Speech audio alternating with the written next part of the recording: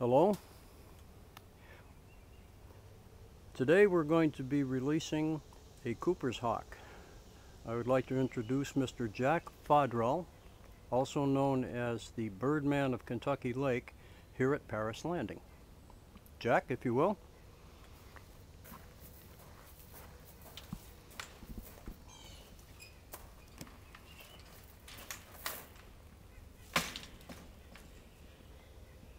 We have here a Cooper's hawk that's ready to go. Interesting story about this bird. We got him uh, 11 days ago, and uh, he had half a snake in his mouth, sitting alongside the road. And I figured what happened, the snake got hit by a car, and he saw the snake wiggling, and he started swallowing it, and another car hit him. He had a concussion, a bad eye, and a bruised wing. We waited a day and we took the rest of the snake out and started giving him amino powder for concussion and good old Gatorade to keep him from dehydrating and force feeding him. After four days of that, he started eating off the plate by himself. Now he's doing very well. As you can see, he's very active. You notice the back of his head, how he has a crest he raises up like an eagle. It's the only bird other than an eagle that does that. This is a male Cooper's hawk. And in hawks, the males and females are about a third difference in the size. Male is smaller. So actually this bird here, a male Cooper's hawk, is about the same size as a female Sharpshin hawk, which is a smaller one than this. The markings are pretty identical. The best way to tell them apart though, if you can see, on the Cooper's hawk, the tail feathers are curved. On uh, Sharpshin, they're square. I always say, Cooper is curved, Sharp is square. That's what I remember. A beautiful bird. And I'm going to turn him over so you can see how pretty he is underneath. Look at the color on the wings and on the tail. Beautiful bird.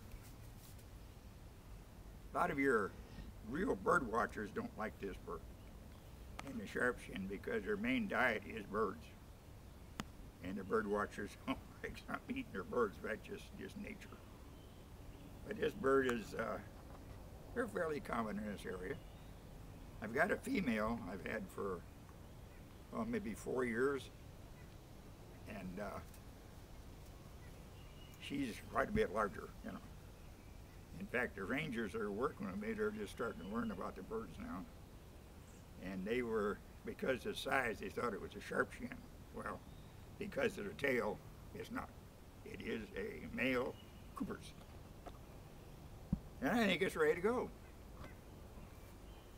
Uh, when you turn them loose, you don't know which way they're going to go.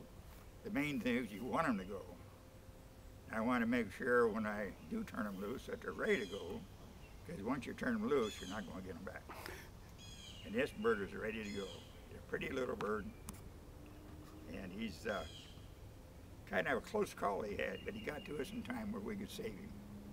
By the way, this is bird number 116 that we have rehabbed and turned loose, set free again. And uh, like I say, I'm a volunteer it's a great job to pay sucks, but it's a good job. but this is my reward right here. You don't get no better than this. When you turn them loose, it's just like when your kids are leaving, you know.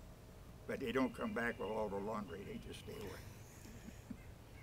okay, we're gonna turn him loose and see which way he goes. Are we ready, Stu? Yes, sir. Okay, here we go. Uh-huh. Great, great. He's up in the tree and he's just looking around a little bit. Yeah, that's what you do. You usually go to the first tree and look around. It's a new territory for him. Okay, back to you. But he did what he's supposed to do. He took off and got in the tree. He'll sit there for a little bit. Very good. Yep. Wow. Come on, Brent. Thank you. Thank How you about for that? letting us